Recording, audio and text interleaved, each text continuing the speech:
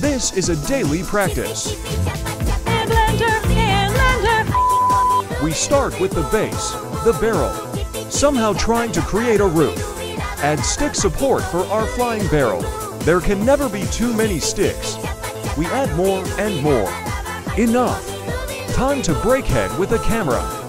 Adding a pipe. Textured using machine paint. More and more rust. Hope the roof doesn't leak. More wood. More wood. Beautiful floor. A little light and you're done.